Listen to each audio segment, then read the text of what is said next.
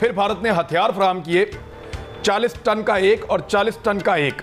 दो कंसाइनमेंट वो लेकर आए, जिनमें वन टू टू एम की जो कैनन बुलेट्स हैं, वो उन्होंने फराम किए अफगान हुकूमत को। तालिबान के खिलाफ कि इनसे लड़ो।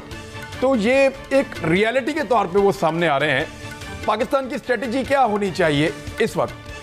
जी मैं तो मैं तो पहले दिन से ये कह रहा हूँ कि अगर हमने इंडिया का मुकाबला करना है इतनी बड़ा मुल्क है और जो अभी हालात हो गए हैं आप खुद तो कह रहे हैं कि इंडिया अफ़गानिस्तान में कंट्रोल चाहता है और हम्म। उसने एनेक्स कर लिया है कश्मीर को और हम सब मामला देखिए इस तरह हल नहीं होंगे जब मियाँ जब प्राइम मिनिस्टर साहब सिर्फ़ ये कह रहे हैं हम तब इंडिया के साथ बैठेंगे जब वो ये वापस ले गए इकदाम भाई वो वापस लेने के लिए बात ही नहीं है। आप क्यों ऐसी बातें कर रहे हैं? हम क्या करें? हम अपना नुकसान कर रहे हैं। इस वक्त भी जो हम ट्रेड भी इंडिया से मैं एज अ बिजनेसमैन आपको बड़े अथॉरिटी से कह रहा हूँ कि हम नुकसान कर रहे हैं। नुकसान उनको नहीं हो रहा इंडिया को कि आप ट्रेड बंद कर देंगे आप उनके साथ बैठेंगे नहीं।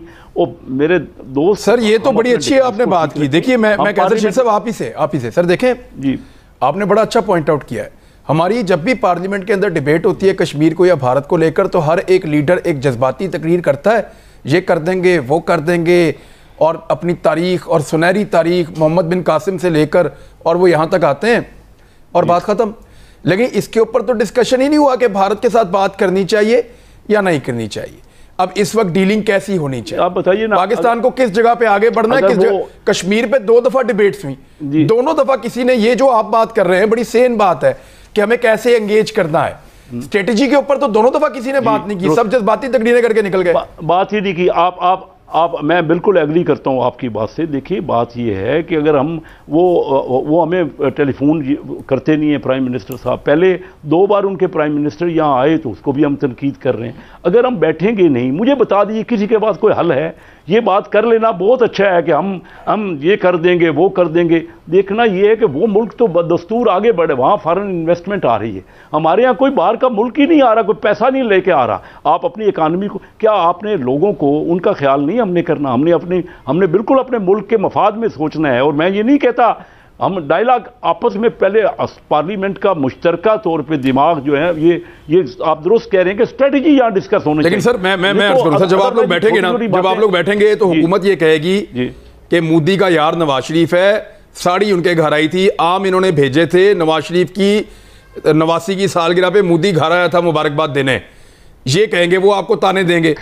आप यहाँ से बात शुरू करेंगे कि हाँ। जनाब अमेरिका गया था इमरान खान। ये अमेरिका को सौदा करके कश्मीर का हाँ। तो ये वापस आ गए हैं। यानी ये तो आपकी डिबेट होगी ठीक कह रहे आपने बात करनी इस पे है। आपने उस पे बात नहीं करनी कि पाकिस्तान को क्या करना चाहिए। नहीं, आप दुरुस्त कह रहे हैं। मेरा भी यही कहना है कि जब तक हम बैठ के सही मुल्क के मफाद में मुश्तर तौर पर देखिए डिफेंस एक जब भी हुआ, जो इंडिया ने जो हमारे यहाँ पिछले दिनों जो किया जो इनिशिएटिव लिया, उन्होंने एस्कलेशन की तो हमने मिल के पार्लियामेंट में सब फैसला किया। फिर वहाँ पे कुछ पॉलिटिकल पार्टीज़ इल्ज़ाम लगा रही हैं पाकिस्तान की इस्टेब्लिशमेंट पे, पाकिस्तान के इदारों पे।